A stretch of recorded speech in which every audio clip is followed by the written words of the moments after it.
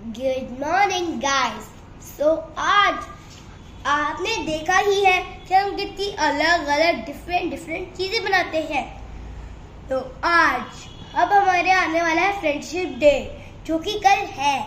तो आज हम बनाने वाले हैं होममेड फ्रेंडशिप बैंड तो आप सभी जाते हैं फ्रेंडशिप बैंड लेने like this like this so आप अगर आप घर पे ही बना ले तो इट इज़ वेरी गुड तो फ़र्स्ट ऑफ़ ऑल अगर आपको फ़र्स्ट ये चाहिए, आप अपने पसंद, पसंदीदा कलर बना सकते हैं।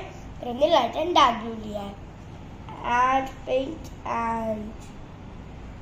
and dark pink and red so first फिर हमें रेड हम एक ग्लिटर शीट लगा सकते हैं या फिर आप फोम शीट हट फिर ये फोम शीट के ऐसे उसके फ्रेंड लिखिए उसकी आउटलाइन करिए और उसके ऊपर अच्छी स्केच पेंस लगाइए और फिर उसको ऐसे बना के कट करिए।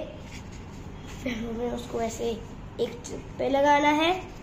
फिर एक हाथ उसके ऐसे आ जाएगा।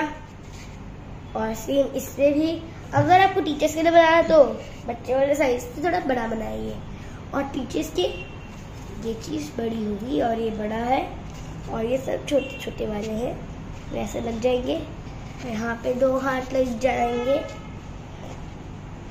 तो ये देखिए कि हमारा फूल मिला के ऐसा बनेगा और ये फेविकॉल से नहीं चिपकेगा।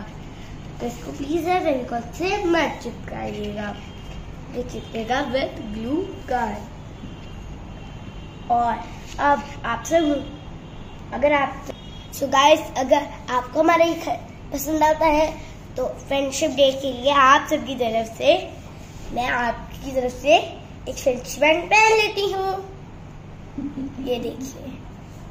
Now it is my friendship band आपकी तरफ़ से। Bye bye